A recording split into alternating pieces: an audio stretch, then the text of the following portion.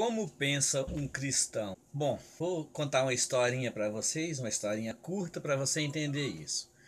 Outro dia eu perdi 20 reais e com essa situação, né, precisando de grana, but hoje eu achei 10 reais.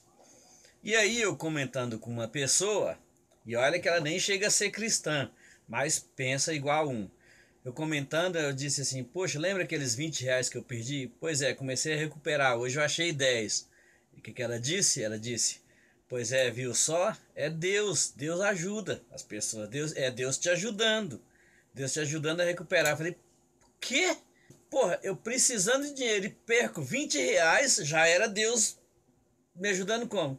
E de qualquer forma, eu perco 20 e ganho 10?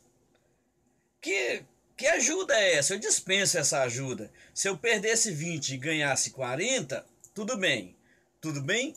Entre aspas, né? Porque é o seguinte, esses 10 que eu achei, pode ter sido, sei lá, alguém que estava indo comprar um leite para uma criança e de repente perdeu. Então você não acha que é uma forma muito estranha de Deus me ajudar? Além de me ajudar com a metade do que eu perdi, ainda usar o dinheiro de outra pessoa que suou para ganhar para me pagar? Hum? え、え、え？